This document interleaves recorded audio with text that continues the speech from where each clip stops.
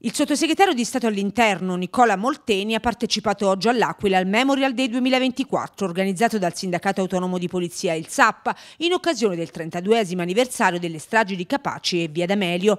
Occasione per fare il punto con il sottosegretario sulla situazione degli agenti in servizio, spesso vittime di aggressione, ma anche sugli investimenti per quel che riguarda il personale.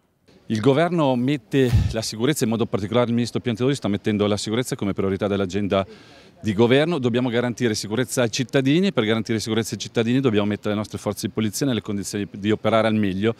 Io dico sempre che la polizia italiana è la migliore al mondo per competenza, professionalità, senso del dovere, stiamo lavorando da un lato per rafforzare gli organici, sono stati tagli nel passato che hanno indebolito fortemente la Polizia di Stato, questo governo non fa né tagli né chiusure, ma va in una doppia direzione, diciamo, anzi una tripla direzione. Da un lato quella di rafforzare gli organici, abbiamo, aperto, abbiamo appena aperto il tavolo sindacale per il rinnovo del contratto e poi dobbiamo rafforzare anche la normativa a tutela degli operatori delle forze di polizia. Troppe aggressioni, eh, dobbiamo ristabilire due principi, onore e rispetto nei confronti di chi indossa una divisa.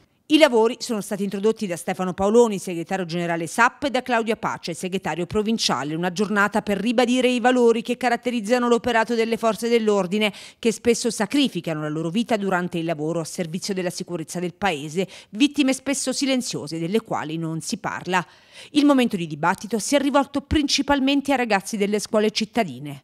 Noi tutti gli anni, il mese di maggio, in coincidenza con la strage di Capaci, eh, organizziamo eventi come questo proprio per non dimenticare, per ricordare chi ha sacrificato la vita per la tutela della legalità, la democrazia eh, del Paese.